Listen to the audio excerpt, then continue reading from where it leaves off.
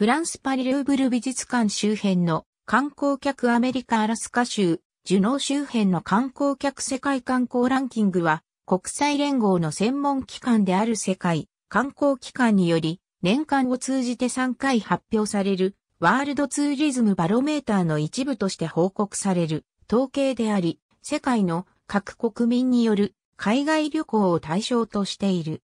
前年の統計が毎年6から8月前後に公表されている。報告内において国際観光客到着数、国際観光収入、国際観光支出により各国がランクされている。世界観光機関は国際観光客到着数の国別順位として以下の国を挙げている。日本政府は2030年までに日本の国際観光客到着数を6000万人とする目標を発表している。